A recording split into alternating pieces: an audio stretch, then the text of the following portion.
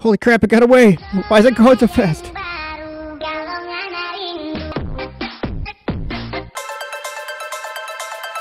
What's going on today, Internet? CellPhish with RetroSpecd. Right here, we've got the Teclast T50 Pro, and this is a tablet I've had a few days to play with here, and this is rocking the Helio G99 processor. There are some similar processors out today to this processor that are being used in gaming handhelds. So I wanted to take a look at this tablet and see what kind of performance we can get out of it as far as the gaming side goes. So let's take a look. All right, here we're to enjoy the unboxing experience. Look at that. This is a very beautiful box. It's got words on it. Words on this side over here. Also, if you put it upside down, there's words, and right side up. Words on that side of the box. Sweet. Now, this does have a freshness seal, so you got to open that right up. Right there. And then you get that awesome noise that the plastic makes that really makes people relaxed. Yep. Okay, that was good. Ooh, it got even better. All right, so now what we're gonna do is look inside. There's the tablet. We can't look at that yet though. No, get, get rid of that. We gotta move that out of the way. Okay, now we're gonna look in here. Oh, we do have a translation manual. So you got things in uh, all the different languages that say the same thing. So if you wanna learn a new foreign language, that's what that's for. So you got one of those, that's pretty cool. Uh, you do have a Type-C charger, that's pretty neat, as well as a pin to take out the uh, memory card. And then we got this case. They gave us a free case, but they hid it at the bottom of the box. Really confusing why they do that. All right, now we have this tablet. We can take a look at it now. Ooh, there's the back of it. That's pretty neat. Okay, all right, so we got some volume rockers and a power switch. Pretty neat. And then where the card goes. Oh, look at that. We have uh, two speakers on this side, two speakers on that side, and a Type-C. So we have four speakers, stereo speakers on this thing. Let's get her fired up. Take a look at it. Oh, look, there I am. Now that we got everything all unboxed and kind of set up here to take a look at, and I actually did reach out to iPega too about a way to make these stands stand on their own because they don't have a way to do it. They kind of balance like this on their tippy toes because they sit right on this little edge down here. So it doesn't work out real well. But anyways, you're not here to talk about that. We are going to go over a couple of features of these devices here. I've never used this iPega before. This one's a brand new one to me, as well as this tablet. Just was able to get a little handsy with it, but I haven't tested a whole lot out yet. In fact, I'm probably going to have to pause recording here just thinking about it. I haven't even really set up Daijisho yet, which is what we're going to use to get everything rolling here. But I wanted to go over the specs of these two devices for you real quick, because we're going to kind of go over stuff as we're doing stuff including like these adjusters here. You can actually adjust the joysticks on these for how much tension you want on them, which is really cool. I wish every set of joysticks had that, but we'll get into that here in just a little bit. We'll start off going over the T50 Pro with the G99 in it. So it is running Android 13. It has an 11 inch 2K FHD 2000 by 1200 120 hertz display. Like I said, it is a G99. It does have two A76 performance cores at 2.2 gigahertz and then six A55 cores that are going to be running at 2 gigahertz. It's got a 6 nanometer processor. Now just think about that for a second because we are going to come back to that. 16 gigs of RAM, 8 of that is virtual. It's got a 256 gigs of ROM and then I do have a 1 terabyte card in it right now. Does have motion sensors, uh, dual band Wi-Fi, also has 4G network capability. It's an 8000 milliamp battery. It does last a while. 18 watt charging, four speakers which sound splendid. We'll see. I don't know if I can get the audio to work here so much while I'm filming, but we'll give it a shot. And then we'll go over the iPega here real quick. I just realized my lights are kind of dim. Ah, that's so much better. All right. This is the PG9777S. Yes, that's three sevens instead of sixes. Thank goodness. This is a Bluetooth controller that actually is set up to fit the body of the Switch as well, but it is expandable. Obviously, it's fitting an 11 inch tablet in it. It actually does fit my monstrous iPad Pro in it as well. This has uh, adjustable rockers. So, as I said before, you can actually adjust the tension and you can feel it in these little tensioners for your joysticks. So, I actually have one a little bit more tense than the other, which is really just complementing your playing style. You don't have to go through a bunch of menus or anything like that. You can actually do it right here on the outside. I do love some manual stuff, some good old hard labor here on the front. No, but I do like some mechanical stuff. Okay, so it does have RGB lighting. The lighting effects too, they'll just keep rotating through if you want, or you can turn them off. Turbo function, extra telescoping, like I said before. It goes all the way up to 286 millimeters, and it does have a motor in each side, so dual vibration. I'll put links down here to both of these. Neither of these are sponsored, just uh, wanted to kind of talk about them. Some cool stuff you can do with this setup. It's not going to be the most powerful device or anything on the market, but it is an 11 inch setup, and you know I've been on this quest to try to find like the best like sweet spot for game streaming. And that's kind of where I like this with Moonlight, PlayStation, and Xbox. We might demo some Xbox. Uh, I don't have my PlayStation on right now. It's actually unplugged. Maybe we'll do some Moonlight. We'll see. We'll jump right in. I'll look at a couple games in each category, and then we'll kind of talk about it a little bit. So this should be interesting. It'd be a learning experience for all of us. So I have put a couple of systems on here, and some of these actually aren't right. It's from the memory card I first put in here, and then decided I wasn't going to use that card. Just because there's only a couple things I really wanted to tackle. So right off the bat, the Helio G99 is actually the basis for the Dimensity 700 chip. If you've been following the Retroid Pocket 4 or 4 Pro, you'll see the Dimensity 900 and the Dimensity 1100. This is uh, the chip that the Dimensity 700 is actually based off of. Not really used in a whole lot other than this tablet. It is made for powerful mobile platforming and gaming, Problem with the tablet is there isn't a performance profile that I've found yet, so I might have to make one or find one that works with it. For this initial testing here today, we're not going to have a performance profile, but we can look at maybe possibly here in the future if I can either get my hands on one or set one up. Yeah, this is what I was kind of worried about, and I didn't really put any games on here either. I just kind of grabbed a memory card to, to, to, to, to do this with. What are we in? Dreamcast? Cool. There's only two games in here. All right, so again, we don't have any profiles to set up here for gaming, so this is just running at normal. There's no performance or high performance option right now. We're going to get what we get.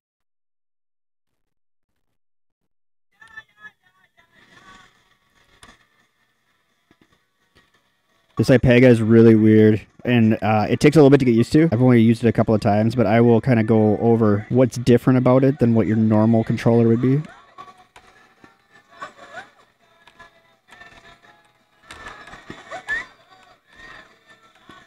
So this is working just fine. This is staying at least at 60. It's bouncing around a little bit, but this is performing better than a lot of the handhelds that I have. And we are upscaled as well, so yeah, I think this is doing just fine. But we'll try a little N64. So this is a game that's notoriously hard to emulate. We're going to give this a shot. I haven't tried this yet, obviously. Couldn't even find the ROM.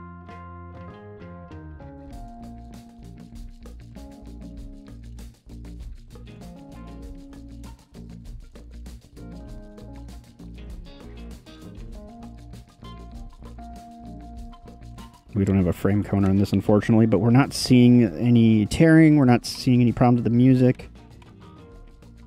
This seems to be going along pretty well splendidly, other than my really crappy driving here. Okay, well, I think that's enough of that. I think we know that it works out just fine, so cool. A couple things that were real big deals about the systems coming out right now are going to be the PlayStation stuff, so I just put Tekken on here. I put a game for each, I believe. Would have been smart of me to set up these emulators before we started doing this, huh? Yeah, that would have made sense.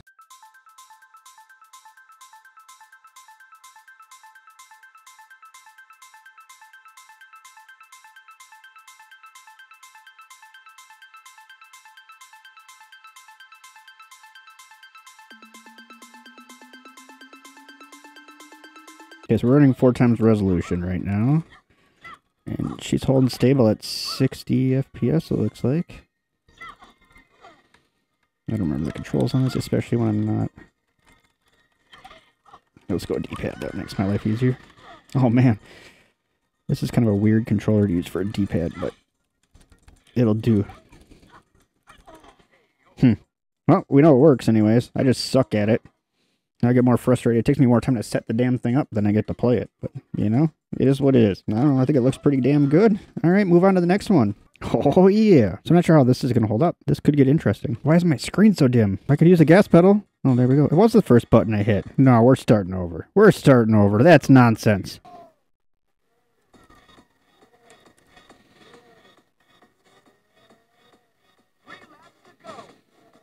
Wasn't sure how to get out of my car. Oh, this feels cool in the hands. You can feel the speaker, like the vibration in the speakers, and feels neat. Well, that didn't work out at all. I'll just get stuck on that wall for a while. But yeah, this is playing pretty much full speed here. We're rocking between like 57 and 60 FPS. 50, I'd say 55 and 60, but mostly up in the 60 range. It's looking good. We're at four times resolution. Uh, can't remember which car drifts really well. It's not that one. There we go. It takes me a little bit to get my, my bearings straight.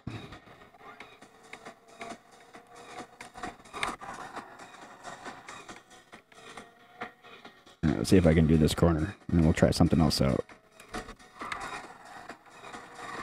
Oh, I didn't make it all the way though. All right, well, let's try one more thing out here. So I did want to, you know what, screw it. We'll try God of War. Why not? Why not? I don't know if this is the PAL version, but if it is, we're at, now we're going slow. Okay, let's see if we can't fix that here real quick.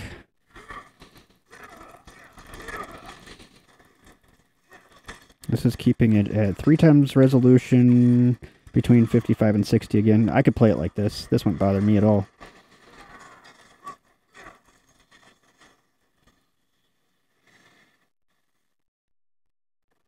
But man, that audio is killing me.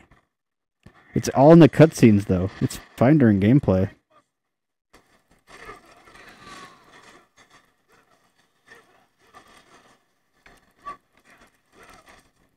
Just for kicks and giggles. I just want to see what the difference is between 2 and 3 as far as the performance goes.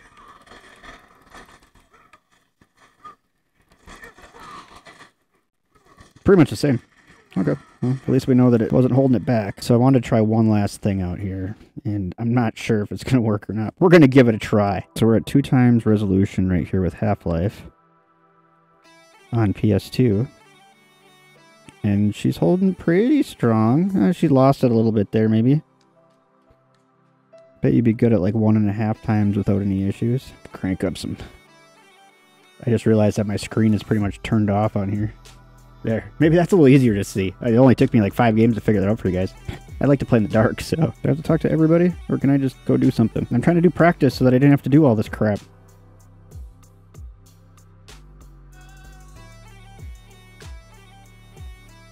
I'd say that this is working pretty well. I don't have anybody to shoot at, but I thought I went, I went through practice to try to find somebody to shoot at, but just because it's such a long intro. But apparently you still go through the same stupid stuff.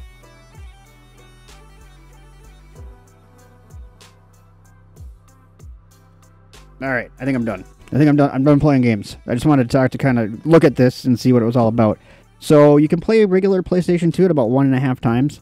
Not as powerful as some of the devices we've seen lately. Not as weak as some of the ones we've seen lately either. Not terrible. Uh, one thing that's really cool about this, I mean, other than the fact that it's a tablet, right? So you can use this for other stuff. I've been using it to draw on. You make my thumbnails for the most part. I use my iPad most of the time, but I just wanted to try it. It does okay. I don't have the same application on here, so if I think if I did, I think I would probably be able to make the exact same thing on here. I have a very similar pencil for this as I do for that, so... Uh, Face ID doesn't work for on here. But the tablet itself is really nice. It's got a really nice, uh, almost like a square edge to it. You do have your memory card and you also do have a slot up on the top here to put a SIM card in. I wouldn't trust this to work on a U US SIM card. I'm almost positive it's not going to work on a US SIM card actually. Most of the tablets you get from China don't work on US SIM cards. Even like Huawei ones sometimes don't work on US SIM cards. But here you got your speakers on the sides, which are really nice. They sound very good. You have your charger which is in a normal charger place. You know, you would normally stick it there. It is weird that their buttons aren't right here. Typically, your power buttons and then your camera would be here. On this particular device, it is set up to be a vertical device, so it has your power and your volume and stuff right here, and your camera in the middle. So it, is, it does take a little bit to get used to. On the back here, you do have your cameras. I believe it's a 13 megapixel camera, if I remember right. One thing that would be nice about the Dimensity 700, the biggest advantage it has over the Helio 99 is that it has a better processing for photos. So you can have a 2K photo resolution, where on this one you cannot. You're topped out at like 1080. Not a big deal. So that's it. It did come with the screen cover on it in the case that it's not in obviously right now because I'm showing you guys what it looks like. But yeah, it's got some weight to it. It's a pretty heavy tablet for how small it is. Not nearly as heavy as my monstrous iPad Pro. As far as this goes, the iPega, this thing is really nice to play with. I think I'm going to try this out on my Switch too. On my Switch too. On my Switch as well. Obviously, it gets to smaller, so you can put a cell phone in here, but it does get really big, which is kind of nice too. These make a world of difference. And I don't know if you could tell on Half-Life, but I had this really stiff and it wasn't turning very fast. And all I had to do was make a couple of moves here, and it's still pretty stiff, but not nearly as stiff, and it was able to change how everything moved without going through menus and things like that, which I think is really cool. It doesn't have any macro buttons in the back, which I don't know, I'm hit or miss. Sometimes I like those, sometimes I don't. On a controller like this, I think I'd have a hard time using it.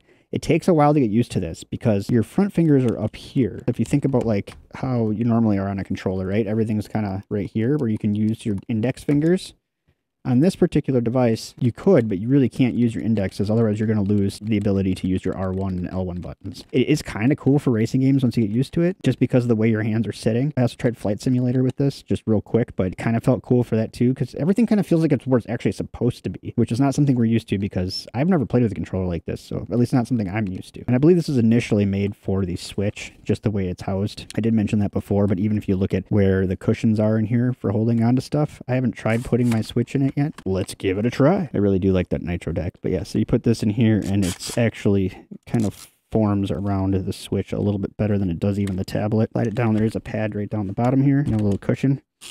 And these bad boys come up and they kind of just stick right in there. So yeah, it works out pretty good. And actually, it goes down below the Switch. So it has the normal nook for the Switch, and it looks like it goes below it as well, and off to the sides. Not made for a Switch, but this would be comfortable for Switch gaming too. like I said, this isn't sponsored by either of these companies. I just, I had this stuff. Um, I don't remember where I got it, but I have it, and I just wanted to try it out. But yeah, that's what I got for you today. I hope you guys enjoyed. Just a quick look here at the T90P from Teclast. It does have its downfalls. Obviously, you can't do any performance settings or anything like that for this, so you are just running in normal mode. I'm hoping that there's some performance profiles out there somewhere. I have seen them for the Helio G99, so maybe I can steal them for another device for this. I'm going to see if I can't make it mix and match here somehow. I'm, I'm hoping that I can come up with something. But for an inexpensive tablet, this is, these go for about $150. So you get a little bit more than you would for a handheld, right? Because you're getting a bigger screen, something you can use for more. But it is the equivalent of a Dimensity 700 chip. As you saw, it can play some PlayStation at one and a half times resolution. You're not going to get every game, but you're going to get a decent library. I mean, we did pretty well there with God of War 2 on PSP. This is a great screen for that. The only other problem is that this thing is a fingerprint magnet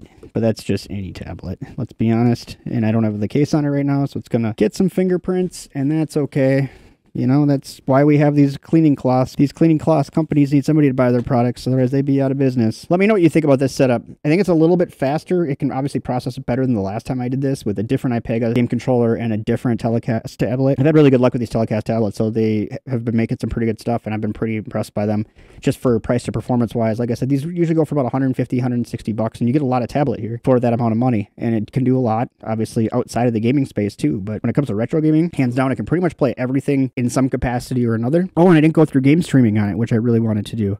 And I really just wanted to show you this. This is where this really accelerates with this 11 inch 2K 2000 by 1200 120 hertz display it is just freaking awesome for game streaming.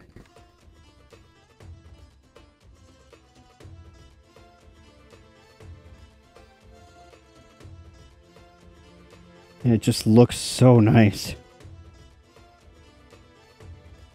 Where's the bolt, lightning bolt guy? There he is. He goes invisible. There he is. I just hit him. Nope, that's... Shoot. Sorry. If you're not familiar, this is Wolfenstein here. I'm just playing on Game Pass. Uh-oh. And I can spare her life, and then I can bring her back to life. If this guy doesn't kill me first. Oh, I died. Oh, well. So this screen looks beautiful when you're streaming. And unfortunately, I just don't have my PlayStation hooked up right now. I'm moving some stuff around. But this gives you kind of a feel for what it's all about. And it is fantastic. What do you think about this setup? Is this something that you would do? The price is about right. You know, it's between 150 and 160 bucks for this tablet. Uh, these iPegas usually go about 30 bucks. So I'll put links to both of them down in my thingamabobs so you guys can take a look at them if you want to on your own. But that's all I got for you today today. So don't forget to, again, comment, rate, subscribe, share this video with your friends because sharing helps grow the channel and I can use all the help that I can get. Just ask my wife. Thanks for watching. Bye-bye.